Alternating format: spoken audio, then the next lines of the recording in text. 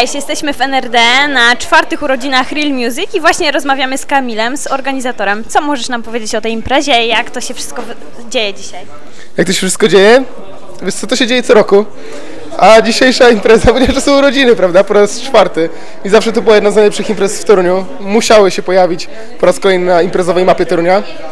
I zaczęło się od tego, 4 lata temu, że wpadłem na pomysł, żeby zorganizować koncert mojej wielkiej idolki, czyli Lilu. To był pierwszy koncert i poleciało.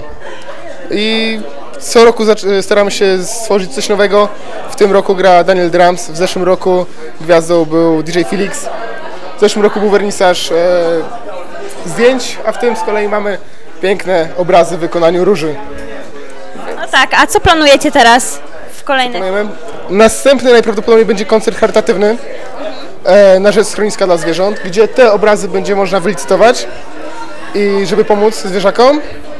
A następnie planujemy koncert, jeszcze nie wiemy jakiego artysty i na pewno przynajmniej dwie albo trzy imprezy DJ-skie. No i znowu urodziny.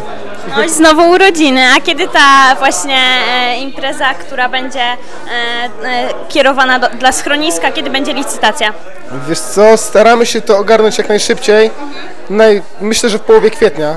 To musimy jeszcze dogadać z NRD e, datę konkretnie, ale ponieważ dzisiaj jest bardzo imprezowy klimat, więc chyba, chyba przesuniemy te rozmowy na jutro, prawda? E, więc niestety daty jeszcze w tym momencie nie mogę konkretniej podać. A jeżeli chodzi o, o koncert, to myślimy o czerwcu, a następnie o październiku impreza okay.